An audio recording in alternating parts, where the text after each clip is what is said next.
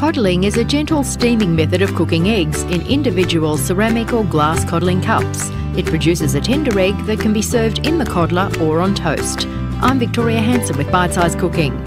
You'll need double cream, eggs and freshly ground black pepper to taste. Begin by lining the bottom of a saucepan with a paper towel, then filling it with enough water to come just below the rim of the coddlers. Then bring it to the boil.